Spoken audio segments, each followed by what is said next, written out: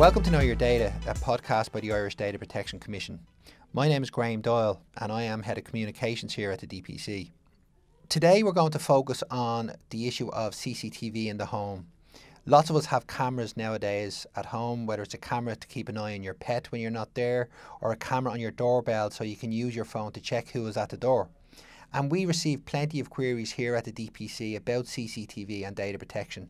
So, as I said, in this episode, I'm going to go through some of the issues and some of the questions that we receive. A recent caller to the DPC help desk informed us that she has cameras inside her house that she checks in on using her smartphone, but her question to us was asking whether or not she needed signs up in her house to let visitors know that she has these cameras. The scope of data protection legislation is set out in Article 2 of the General Data Protection Regulation, which states that the GDPR does not apply to the processing of personal data by a natural person in the course of a purely personal or household activity, this is more commonly referred to as the household or domestic exemption. What this means, in essence, is that if an internal security camera system is used solely in the course of a homeowner's personal or household activity, then they will not be subject to the same obligations as a data controller would be under data protection law. So you don't need to put signs up to make visitors aware or to provide access to the footage from the cameras. However, it is important to note that you may become a data controller for the purposes of data protection law, depending on what you actually do with the recorded footage. What I mean here, and, and by way of example, is if you publish footage that you capture within your home and publish it online or share it on social media, then you may actually become subject to the obligations of a data controller. But in general, the use of such systems do not fall within the scope of data protection legislation.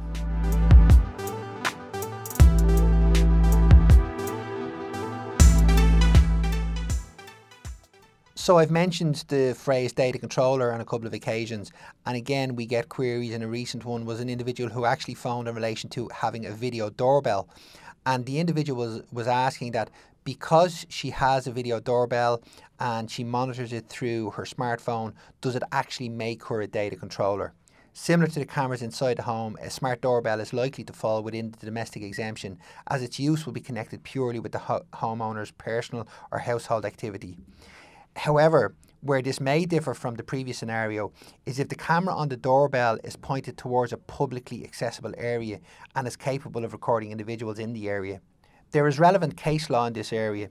The Court of Justice of the European Union established in the case of Ryneš that the use of domestic CCTV systems that cover a public space fall within the scope of data protection law.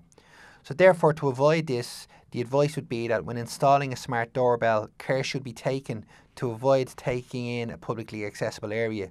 And if this can't be avoided, a user should consult our guidance on CCTV systems to understand their transparency obligations. This guidance is available on our website www.dataprotection.ie.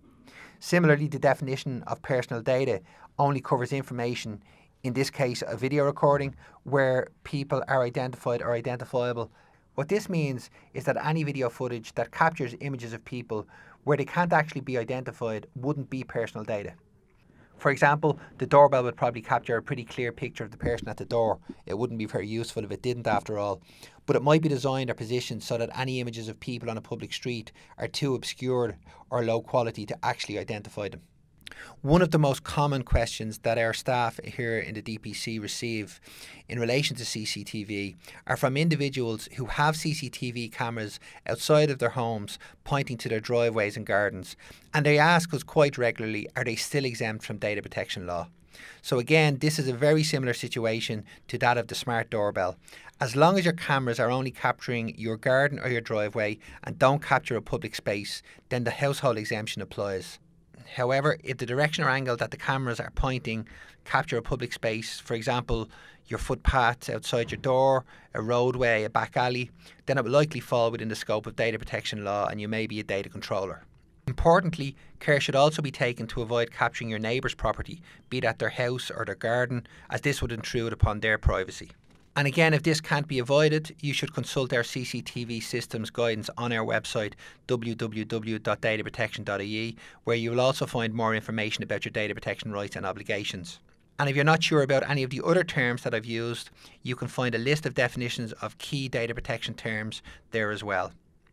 This has been Know Your Data, the Data Protection Commission of Ireland's podcast.